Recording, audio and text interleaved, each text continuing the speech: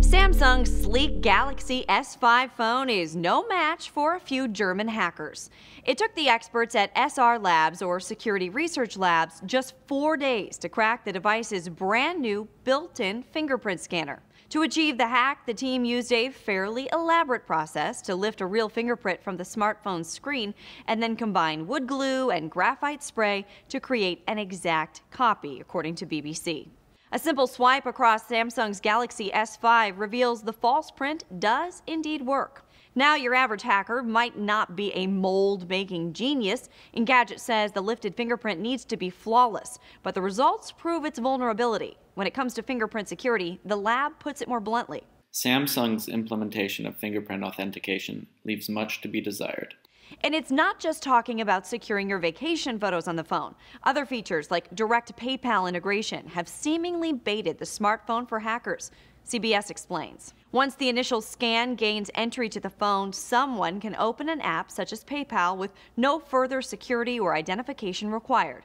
As shown in the video, the person is able to log into PayPal, giving him the ability to access the owner's account.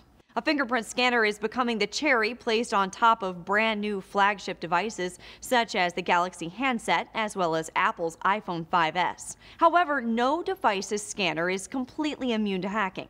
The hackers used the exact same wood glue print to carry out hacks on the iPhone last fall. They didn't even need a new mold.